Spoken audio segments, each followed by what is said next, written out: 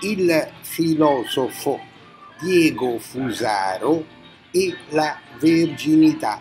Ripeto, il filosofo Diego Fusaro e la verginità, perché leggo sul pregiato web journal Huffington Post una notizia che riguarda il filosofo Diego Fusaro, che io apprezzo molto, che sia chiaro.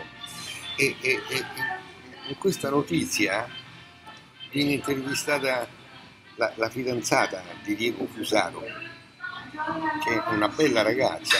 La fidanzata di Diego Fusaro vive con Diego Fusaro, diciamo così, more uxorio, però la fidanzata di Diego Fusaro, del filosofo Diego Fusaro, dice che non fanno le more, non fanno le more, lei dice di essere ancora vergine perché non fanno le more.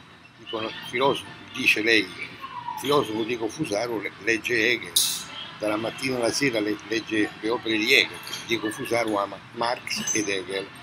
Allora ci sono state tante illazioni su questa faccenda che, che, che la fidanzata del filosofo Diego Fusaro e vivono insieme in Moruxorio dice che non fanno le more lei, lei è ancora vergine.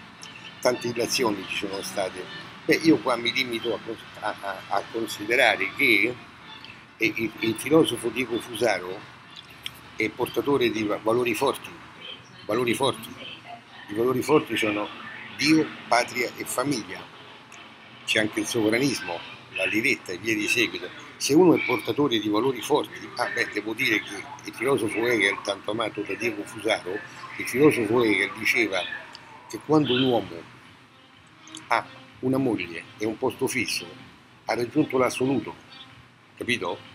Ho questi valori forti, la mogliettina e il posto fisso, Dio, patria e famiglia. Allora c'erano tante ilazioni. No, no, per me è tutto normale, tutto normale che la fidanzata di Diego Fusaro sia ancora vergine, ovviamente eh, d'accordo con, con, con, con, il suo fidanzato Diego Fusaro, e, e, rientra nella tradizione, nella tradizione, la tradizione voleva che il fidanzato e la fidanzata andassero in chiesa a sposarsi e quando lei, lei, lei era ancora vergine, vergine vergine. Poi la prima notte di matrimonio avveniva lo sverginamento, cioè la rottura del limene, limene, limene, limene è quella membrana, quella membrana che protegge la verginità.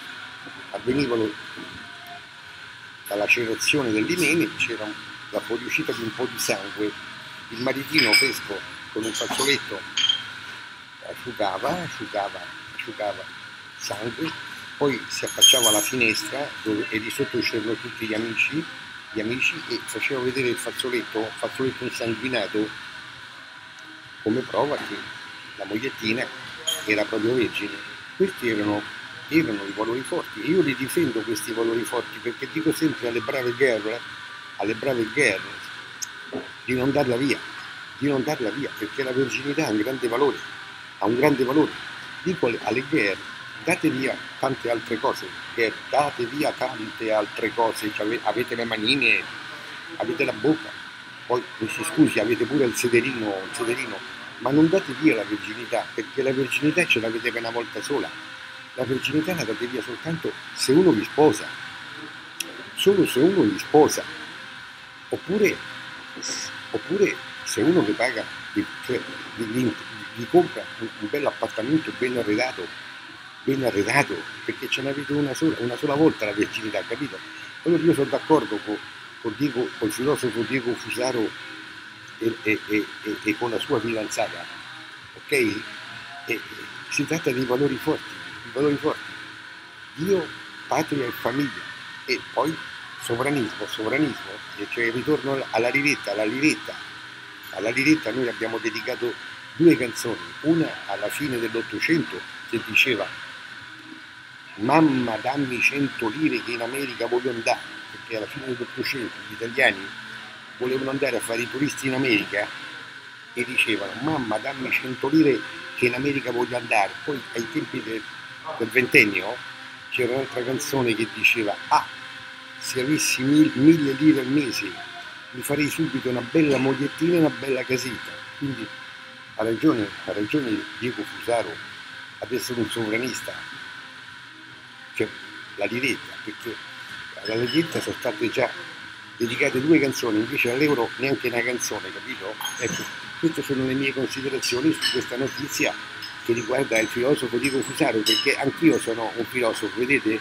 Anch'io sono un filosofo, vedete? questa è la mia storia della filosofia, un po' stoico, un po' eh, cinico e tantissimo gnostica, gnostica, gnostica, gnostica. Ok, cari amici, a Diego Fusaro, alla sua fidanzatina e a tutti voi tanti cari saluti da Serafino Massoni che sta sempre qua al bar Malù della Garbatella e la Garbatella è un